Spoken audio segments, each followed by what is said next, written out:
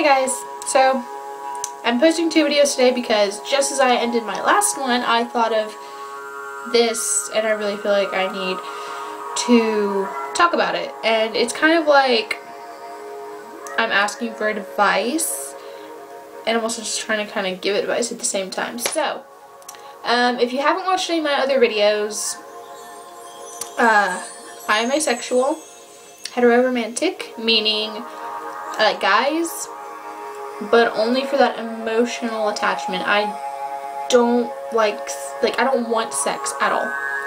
Um, I don't know why, so don't ask. I can't explain it. It's, it's just weird. Um, and I will get, I get so much shit for it from my own family, some friends. I haven't told my boyfriend yet, so, um, but mostly what I get is, oh, you're secretly a lesbian. You just gotta find the right person. It'll happen when you get older.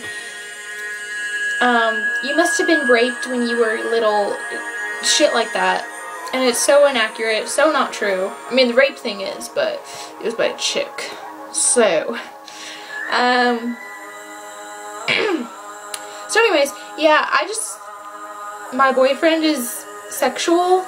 He he's had sex, that doesn't bother me. If you want to do that, that is awesome. You're doing what you want, you're living your life, and I'm very, very proud of you for that. That's just not my thing.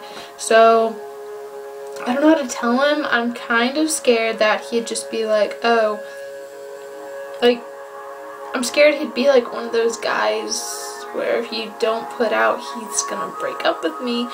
And I don't want to say that I think of him that way, but I mean, I've never, I don't know.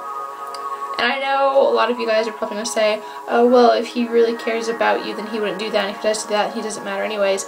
Yeah, but it's still hard and you kind of get a bit of emotional connection. Um, and we haven't been together long. It's been like four days. But, I don't know.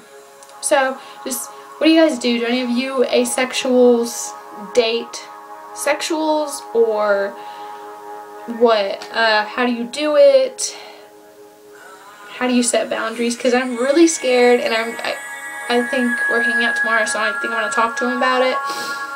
Um so yeah I'm okay with kissing holding hands hugging cuddling all that stuff but I don't want sex. No oral or vaginal anal nothing. I don't want sex. I, it just doesn't interest me and I'm just not comfortable with it.